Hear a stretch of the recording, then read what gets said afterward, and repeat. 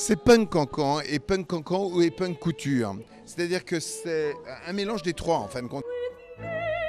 Le French cancan, qui est super féminin, qui est à la limite peut-être l'antithèse du, euh, comment, du punk. Donc il a ces traditions froufroutantes et tout, mais qui étaient très scandaleuses à l'époque, puisque je vais dire tout, tout le secret, c'est qu'à l'époque, les filles du Moulin Rouge, eh bien, elles avaient les culottes fendues. Donc quand elles levaient la jambe, eh bien, on voyait tout ce qu'il y avait en dessous. Donc au total, ça fait ce mélange-là qui donne des silhouettes quand même assez, assez exagérées, euh, enfin exagérées, assez longues, assez, assez en hauteur et tout, et je trouve extrêmement élégantes et, chic. J'ai fait euh, comment, euh, des, broderies qui ont aussi des épingles à nourrir, c'est des, pressions, des petites pressions là pour fermer celles qui sont de couture, les pressions couture noire ou argent. C'est assez graphique quand même, avec des lignes comme ça qui montent les épaules.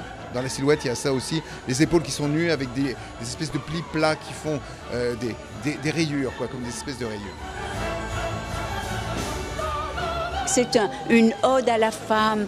C'est tout est en biais, c'est une invention, c'est des volants, c'est le, le- le savoir-faire français, c'est c'est Paris, c'est merveilleux. C'est un génie. Je pense que c'était un de ses meilleurs shows. On voit le travail d'un maître à son meilleur moment.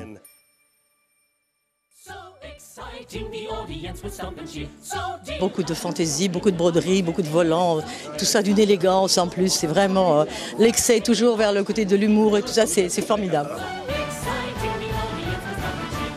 Bravo Jean-Paul, t'es le plus fort.